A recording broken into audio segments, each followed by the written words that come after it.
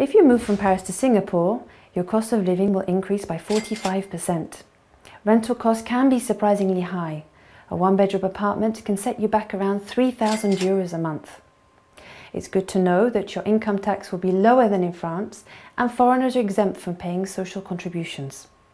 So, in conclusion, if you are single and living in Paris and have a gross salary of 50,000 euros, you could have the same standard of living in Singapore with a gross salary of 69,000 euros.